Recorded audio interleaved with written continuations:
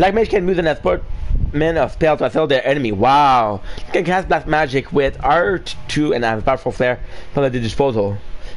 So flare in the first game, uh, well, in the original, the one we played last week, is the, the strongest kills. There's no meteor.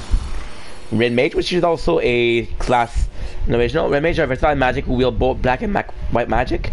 They chain spell with R2 and cast an assortment of spells in quick succession. White magic effect, depending, okay. Oh shit. A lot more.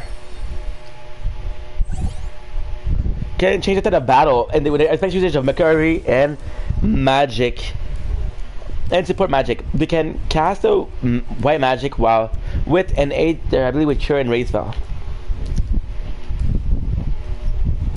It's very basic though.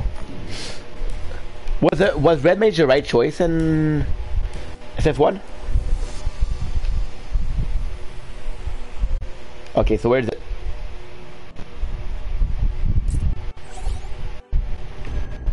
Ooh.